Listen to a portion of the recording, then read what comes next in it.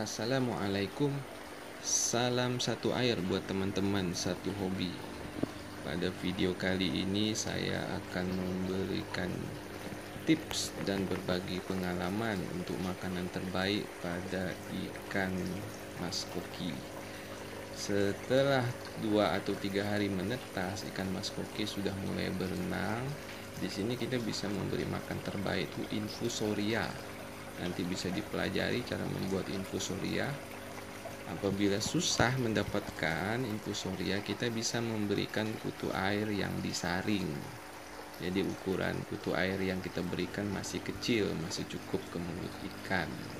Makanan pilihan kedua yang bisa kita berikan yakni kuning telur dan susu bubuk. Hanya kedua jenis makanan ini sangat beresiko cepat mengotori air pada usia 2 minggu, makanan terbaik yang kita berikan cacing sutra dan jentik nyamuk. Hanya kedua makanan ini beresiko membawa penyakit dari tangkapan alam, jadi perlu dibersihkan terlebih dahulu sebelum kita berikan.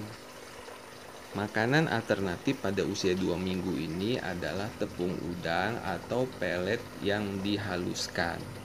Hanya makanan alternatif ini beresiko sama mengotori air.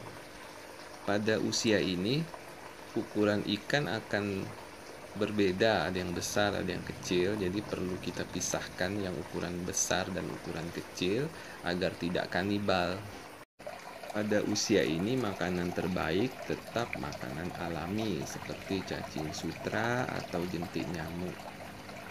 Karena pada usia ini ikan mulai menampakkan perubahan warna, bermutasi warna.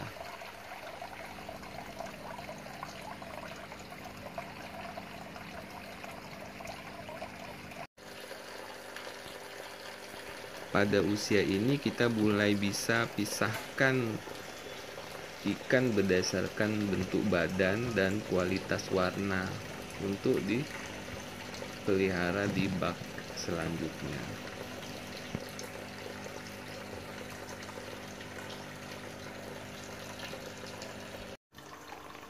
Pada usia tiga bulan ke atas, ikan sudah mulai menampakkan keindahan warna aslinya. Di sini kita mudah memberi makan pelet yang tersedia di pasar. Hanya ada beberapa ukuran, jenis, dan harga tentunya mempengaruhi kualitas dari pelet tersebut. Nah, untuk hasil yang terbaik, silahkan teman-teman pilih sendiri harga pelet. Makasih teman-teman yang telah menonton video ini, semoga bermanfaat.